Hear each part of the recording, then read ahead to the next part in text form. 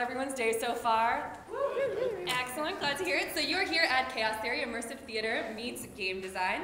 Uh, my name is Jessica Creane, and I am many, many things, as I imagine a lot of you are as well. They include uh, game design, immersive theater design, I'm a writer, I'm a producer, I'm a director, I'm a performer. Um, pretty much anything that has happened in theater I have done, to varying degrees of success, to be very, very real.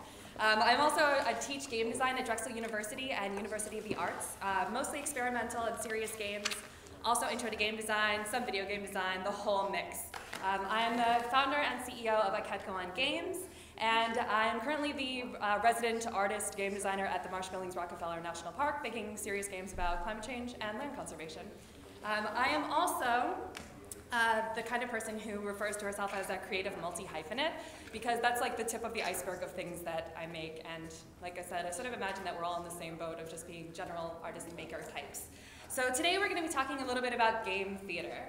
Uh, so game theater means a lot of different things. Uh, sometimes it can refer to LARPs, which are sort of on the theater side of game theater. There's a lot of performance that goes into it. And then there are escape rooms, which tend to fall into the, the other side of the spectrum of lots of game, a little less theater. So today we're talking about a space sort of in between those things. Um, for me, game theater is uh, the kind of work that borrows from the intimacy and the like really intense storytelling that goes into theater, particularly immersive theater, and the game design, the strong rule sets, and like the extreme player agency that goes into the making and playing of games. So that's the space that we're going to be talking about today. And I'm the writer and creator of Chaos Theory, the piece that we're going to be talking about. Um, so there are a couple of things that games and theater do particularly well. And again, sort of veering towards immersive theater rather than like the theater where you sit in your seat and David Mamet words come at you. So this is a little bit different. Um, so they, they invite a lot of participant agency. There's a lot of opportunity to make meaningful choices. So that's what agency is for those of you who are you know, not necessarily game designers. Agency is just the ability for people to make choices that matter, that shape the world around them. Another thing that games and theater do really, really well is that they provide a really structured world. They say, this is the world that we are playing in, this is what it looks like, I'm going to provide some boundaries for you.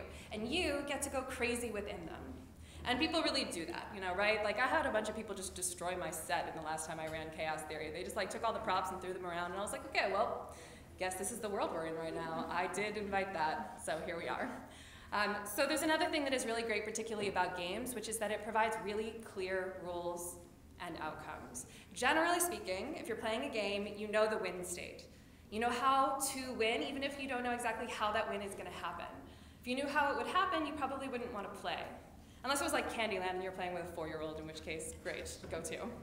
Um, storytelling is something that is, is particularly strong in theater. Theater pieces, particularly immersive theater, spend a lot of time building these narratives, really tight-knit stories where you can come back time after time and have a different experience. So one time you're following this character, another time you're following that character's like ex-scorned lover, learning different things about the story as you go, building this like beautiful world over time.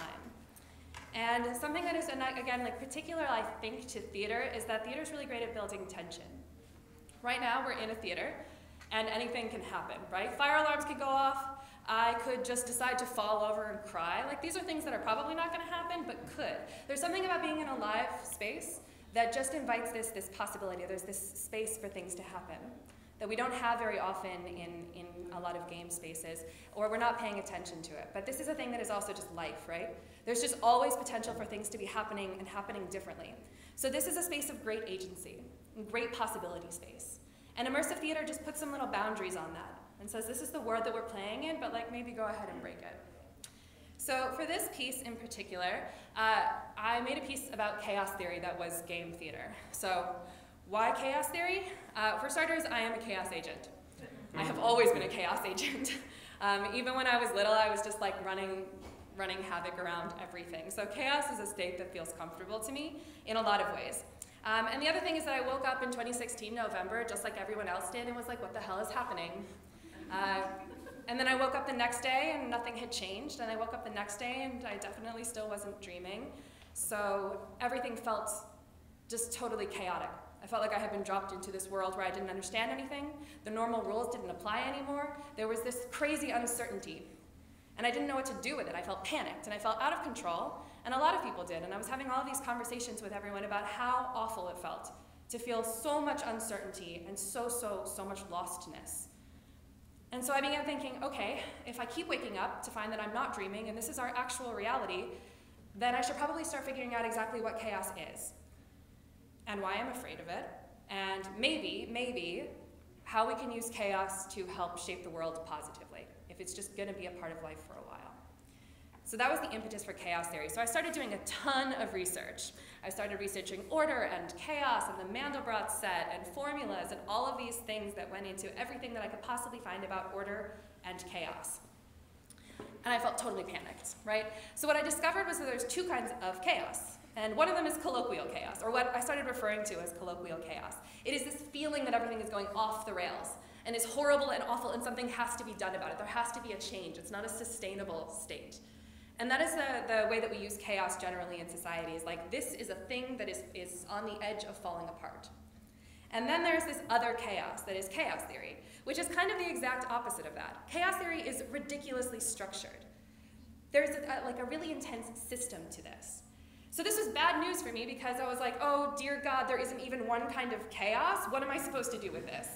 But the good news is, as an artist, if you give me conflict, I can make a story. And if you give me a system, I can make a game. So as a storyteller and game maker, I was like, game on, great, let's do this. So I started figuring out if there is a way that we can use chaos theory to help us understand colloquial chaos. So it went pretty badly for a while, not gonna lie. It was really, really hard to try and write this thing. Um, but my mantra this year is, or last year and this year really, is the same as many game designers, which is to fail faster. So I started making really bad things and inviting my friends over and telling them to like, please, please drink more beer and just sit through the bad things that I'm going to be doing. And they did because they're amazing and that's how community works. And so what eventually came out is this character named Dr. Sayoc. Uh, you may notice that I am into wordplay and puns, so if you're into that, good. If you're not, I'm really sorry in advance. So Dr. Sayoc is this character, um, and she is a professional chaologist. And my background is in immersive and, and uh, devised theater, so I love making characters and stepping into other roles. So this was super fun for me. So I made up this character, and she has a voice and a background, and what she is trying to do is understand her whole life through chaos theory. Anytime that her world falls apart, she reverts back to why, and she looks at chaos theory as a, a source of, of answers for this. So she does this for her middle school crush. She tries to find out why he doesn't like her through chaos theory. Uh, she tries to figure out the patriarchy through chaos theory, and she tries to figure out her own life and career through chaos theory. And so that's sort of the structure of the piece. We get to go through it with this character. What does it look like when your world falls, world falls apart? And how can chaos theory help us understand these feelings of chaos? So after I had this character, I started to build a world around her. So this is sort of from the, like the fully baked version of the piece, which didn't exist for a very long time. But basically, people come into this space and they are at a meetup. It's not a TED Talk. She's not that fancy.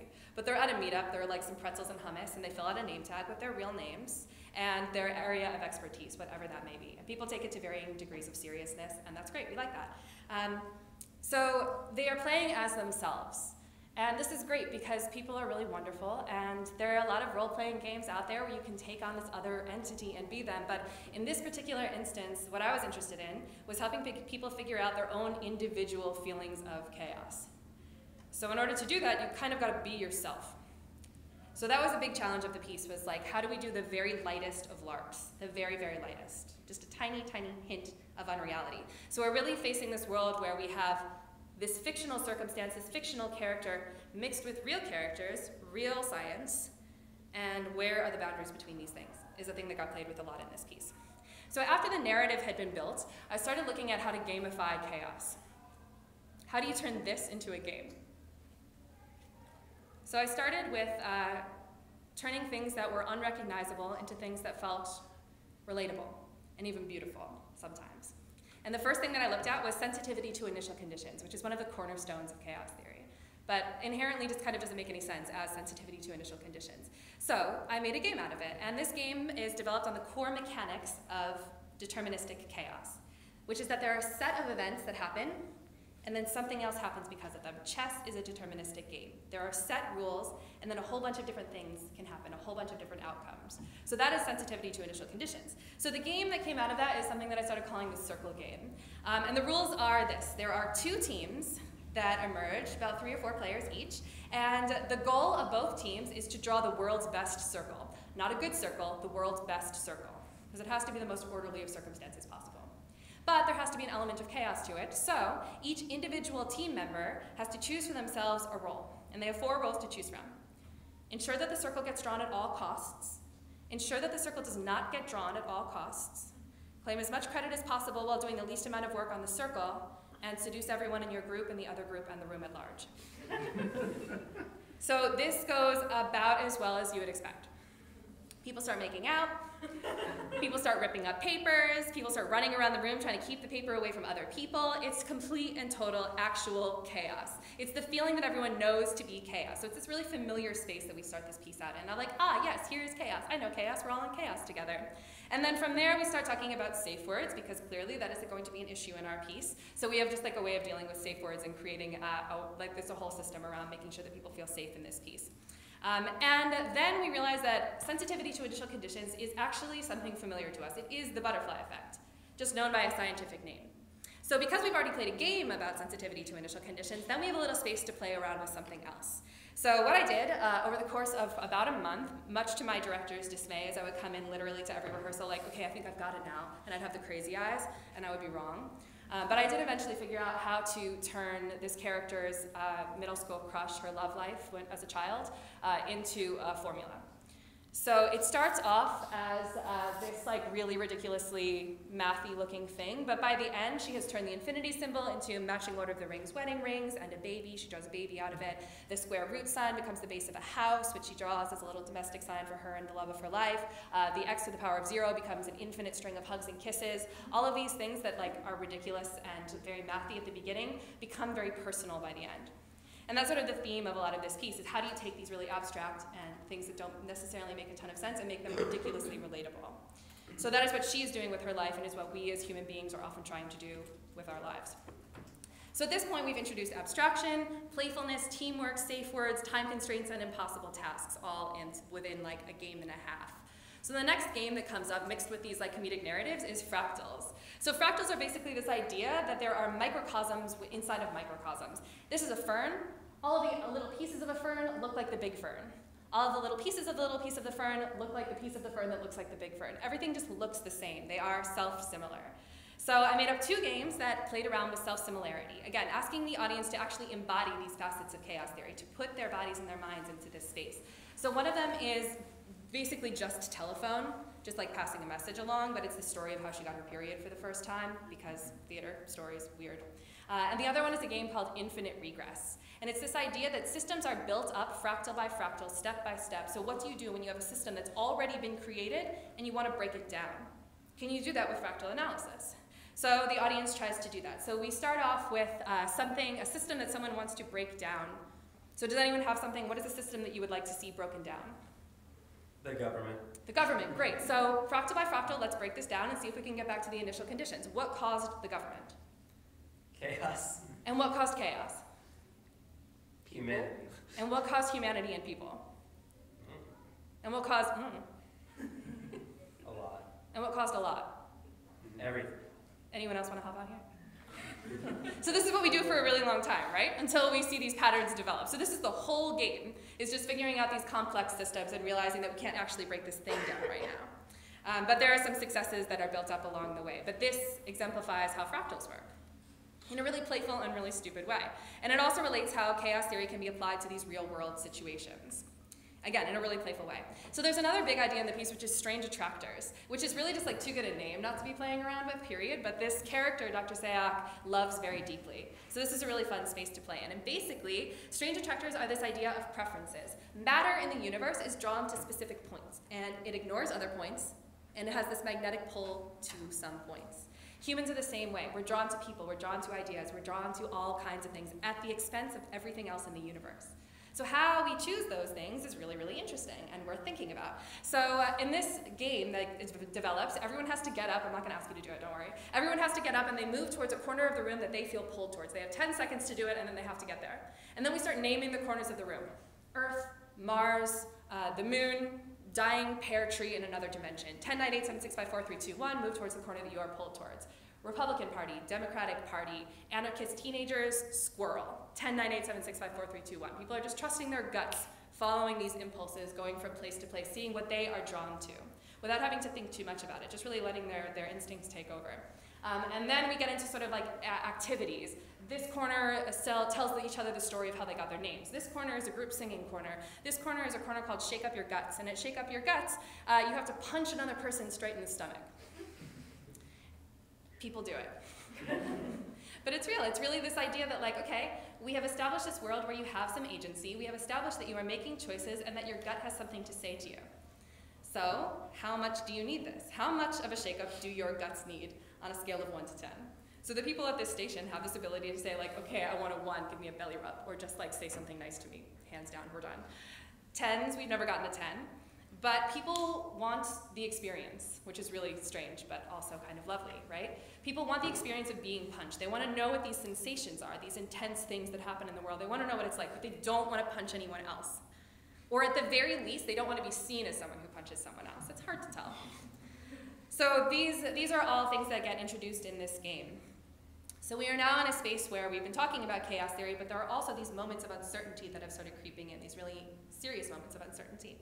Um, so the next thing that comes up is misogyny in the scientific community, which, strictly speaking, probably not an actual facet of chaos theory, but definitely a part of chaos theory, right? Very important part. So this is Dr. Edward Lorenz. He's a real person. He was here at MIT, actually. So a lot of this piece actually takes place at MIT. Uh, and he and my character in this piece, totally not real, have this really intense, passionate love affair. Yeah. Uh, so they tell the story of how they fell in love, and they do all of this research together, and they work in the lab together trying to figure out the practical applications of chaos theory in everyday life. And what they end up with is this formula.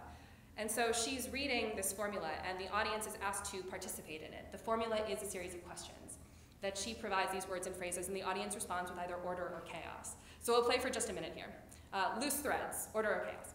Chaos. Great. Uh, alphabetically organized spice racks. Order. Poetry. Chaos. Pottery. Order. A college education. Chaos. Love. Chaos. Sex. Chaos. Dead people. Order. Babies. Chaos. Writing scientific papers. Order. Submitting papers to scientific journals. Chaos. Not hearing back after submitting papers to scientific journals. Chaos. Department heads picking which papers go into scientific journals. Chaos. Department heads having penises. Order. Department heads having exclusively penises. Order. A room full of penises talking about a people, people who submit papers to scientific journals. A room full of penises talking about a particular person who submits papers to scientific journals. Bad. And this is exactly what happens. It gets quieter and quieter and quieter. As we go through this whole game where the audience is actually asked to choose which situations are orderly and which are chaotic. And it gets very, very personal. And she starts, you find out this story as she goes along about basically how she has been ostracized from the scientific community for making what could be perceived as a mistake, but wasn't necessarily a mistake, might have just been living chaotically. And we find out that Dr. Lorenz has also made mistakes and that he was lifted up from those. He was heralded as having this out of the box thinking and has become a celebrity, whereas she has been shunted off to the side uh, and labeled basically like a, a crazy woman. So this is all happening over the course of this one game, and this is the entire game. These are all of the things that get said. It's a long game, but uh, also she might have had an affair with Billy Blanks. There's some things going on in the story because it's, it's weird, and the whole piece is meant to be like very accessible and funny. So, oh, I forgot to mention, uh, she, I am completely naked during this entire game. Oh, Uh, so in a previous game, she has gotten naked. She is shameless because there are things that just happen in the game, and she doesn't see them as sexualized. Um, but so as these things are happening, as we're finding out this story of her being ostracized from the scientific community, she's just buck-ass naked the whole time. And that ends up being really, really important because we go from this being really, really silly to being something that is uncomfortable and scary and realizing that actually the only reason that we're playing this game, the only reason that we're having this conversation is because these events happen to, to a female body. So it's again this sort of play that you have between, between games and playfulness and being in a theater space where we are all literally in the same space together, living through this moment and having this experience together. These things just can't exist uh, without each other. Like these, this is why it is game theater, is that these things really go hand in hand. So as this happens, there is one more game, one more major game in the piece, and that really deals primarily with colloquial chaos. So we've moved from these facets of chaos theory, and we've sort of shifted slowly into this world of colloquial chaos. Uh, so it is called, at any moment, a velociraptor might enter this room. And it is called this for a couple of reasons. One is that I, Jessica, am very, very scared of dinosaurs. uh, I literally had not seen Jurassic Park since I was five years old, and I had nightmares and had to be carried out of the theater in tears. Uh, and so I watched it last summer in preparation for making this piece by myself, alone, in this gigantic house where I was house sitting, because I knew that if I was going to be asking people to do things that were scary, then I had to do them myself.